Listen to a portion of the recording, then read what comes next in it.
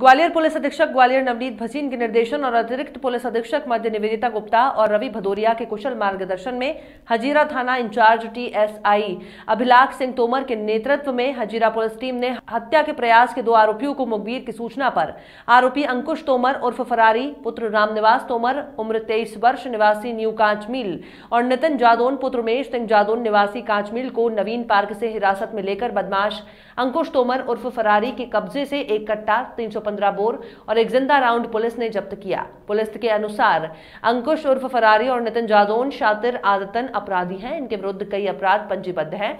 इन्होंने रंगबाजी और क्षेत्र में वर्चस्व स्थापित करने के लिए घटना घटित की थी। क्षेत्र में ये भय और आतंक स्थापित करना चाहते थे। दिनांक बारह एक बीस को फरियादी दीपू तोमर के घर निवास, प्रगति नगर में फरारी उर्फ़ अंकुश तोमर और नितिन यादव आए और उसको गाली रोज करने लगे। बोले, तुमने तीन दिन पहले मुझे थप्पड़ क्यों मारा था?